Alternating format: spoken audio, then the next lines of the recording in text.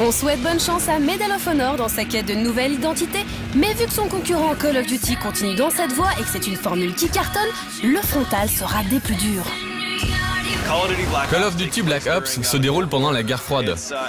Ce n'est pas un jeu sur la guerre froide ou l'un de ses conflits en particulier comme le Vietnam, même s'ils sont présents. Notre histoire est un peu comme une énigme qui trouve son dénouement dans l'histoire, et donc dans les références historiques. Vous allez donc vivre des séquences dans l'Asie du Sud-Est ou encore en URSS.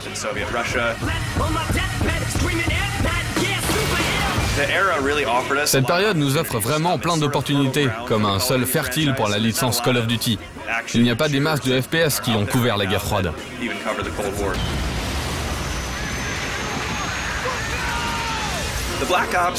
Dans notre jeu, les Black Ops sont des agents spéciaux de la CIA.